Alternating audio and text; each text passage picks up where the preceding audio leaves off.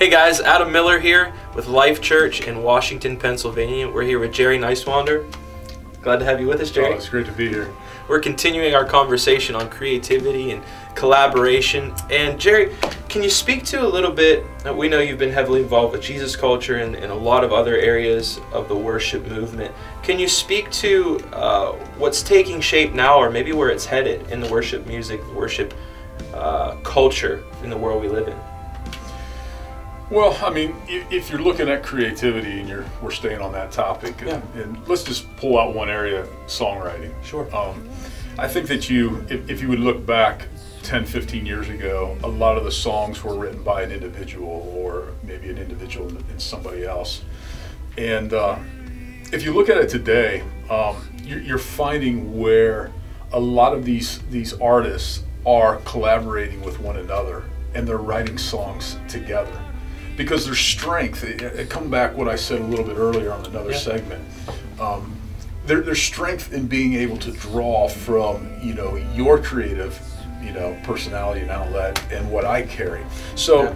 you know so like when I was out at, at, in Jesus culture at Bethel, you know Brian uh, Brian was great at writing that chorus or coming up with that riff. You know Sure. and you know and then jeremy riddle comes along and and would add the verses to this song and so there was a great there was a great synergy and a great Wow. teamwork there that, that came along because you know man brian was strong in this area and jeremy's strong in this area but you know even if you're in, in a worship service now and you look under ccli you know you got the worship song up there on the screen you got the Sure. CCLI, you got the writers there you know you'll, you'll see like 10 writers now Yeah.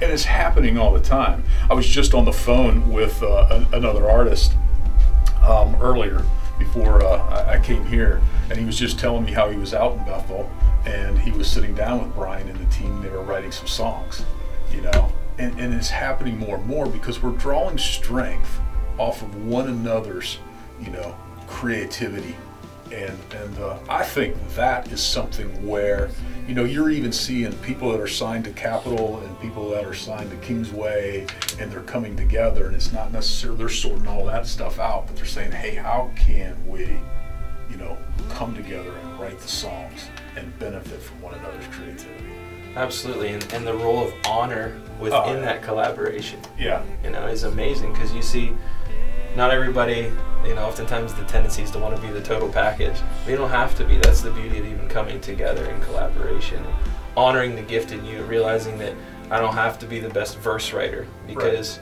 so and so in the room could be, you're right and there's strength in that. Yeah, and, and Brian, you know, obviously we know Brian's written some amazing songs, and he's an incredible, incredible songwriter in and of himself, and he doesn't necessarily need a Jeremy Riddle. Sure.